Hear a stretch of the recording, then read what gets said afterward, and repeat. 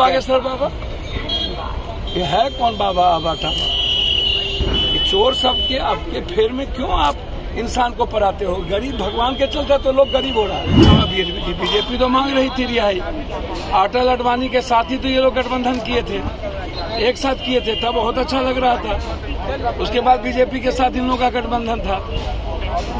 सोलह साल के बाद छोड़ा तो कौन सा पेट में दर्द इन लोगों को हो गया? बीजेपी फोबिया है। समझे?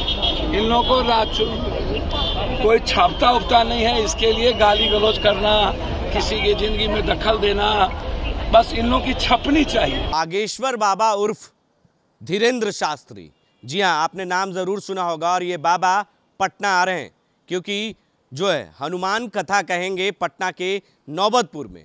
ऐसे में उनके आने को लेकर सियासत भी तेज हो गई है जाप सुप्रीमो पप्पू यादव ने सीधे तौर पर बाबा को कहा, ताबा, और कह दिया कि इतना ही चमत्कारी हैं तो जितने आर्मी के जवान हमारे बॉर्डर पर तैनात हैं, उन्हें हटा दिया जाए और ये बाबा चमत्कार कर दें।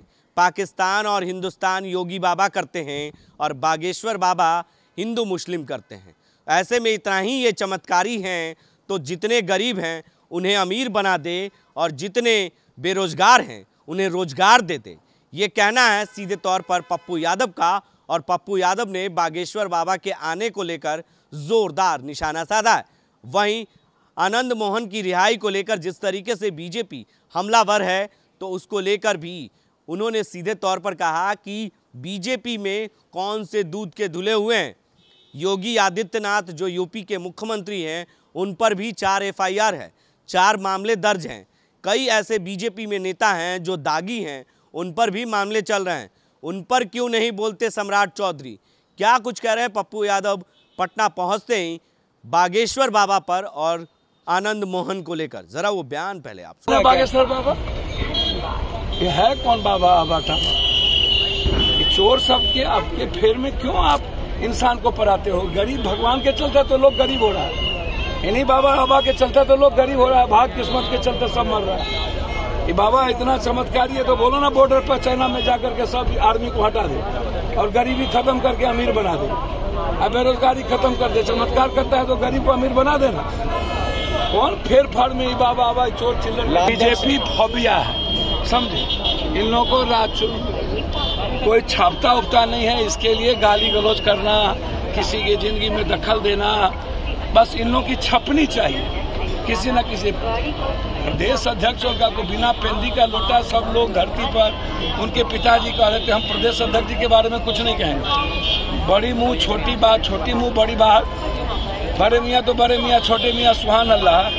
सैया भेल कोतवाल तो अब डर का है का? जो मन में आता है, सो बकता है। अरे जात पात छोड़ दो ना। हिंदू मियाँ इसको कहीं छोड़ देना पाकिस्तान का नाम लेना छोड़ दे। चाइना का नाम कहा नहीं लेता? रूस और अमेरिका का नाम कहा नहीं लेता?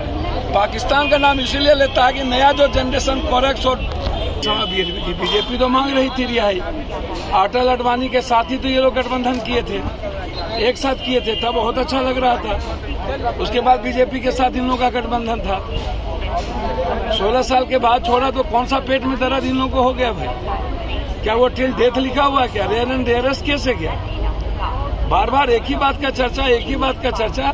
आपको पुलवामा याद नहीं है कि पुलवामा में इन लोगों ने 40 आदमी को मरवा दिया था ये चुनाव लड़े उसको क्यों दबा रहे हैं? पुलवामा को भुला रहे हो, तेरह आदमी को मार दिया महाराष्ट्र में वहाँ उसको भूल रहे हो। तो हर दिन तो ये मार ही रहा इन लोगों का कोई जब ये कर्नाटक हार रहा हो, दुनिया हार रहा हो, तब ये जिस तरीके की बात करता है, इन लोगों से के थतरलॉजी मुँह लगा है इन लोगों के पास पावर और पैसा दोनों हो चुका है, अहंकार में ये लोग चूर हैं। सारे पैसा को तो इन्हीं लोगों ने लूटा है। अदानी अंबानी सारे पैसे भारत के इंटायर पैसे। इससे बड़ा चोर कौन है भाई? सबसे बड़ा तो भ्रष्टाचारी है, हिम्मत तो पुलवामा की जाँच करा ले। है हिम्मत तो जेपीसी से जाँच करा ले अदानी की। ये महँगाई पर बात नहीं करेगा रोज़गार पे बात नहीं करेगा फार्मर्स पे बात नहीं करेगा। ये भागता है हर चीज़ों से। लालू जी आ रहे हैं। तो आपने सुना बागेश्वर बाबा को सीधे तौर पर उन्होंने चेतावनी दे दी और कह दिया कि इतने ही चमत्कारी हैं तो गरीब को अमीर बना दें और जो बेरोजगार हैं उन्हें रोज़गार दे दें। इतना ही चमत्कार वो करते हैं तो बॉर्डर पर जितने हमारे आर्मी के जवान तैनात हैं उसे हटाकर इनका चमत्कारी देख लेते। ये बाबा और ताबा के चक्कर में आप लोग क्यों पड़े हुए हैं? कितने को इन्होंने गरीब बना दिया है। यानी कहीं ना कहीं बागेश्वर बाबा के आने को लेकर एक तरफ़ तेज प्रताप यादव विरोध कर रहे हैं तो दूसरी ओर पप्पू यादव भी इनका विरोध करते हुए नज़र आ रहे हैं। अपने सहयोगी कैमरामैन अमित के साथ बने रहें देश न्यूज़ के लिए, और देखते रहें देश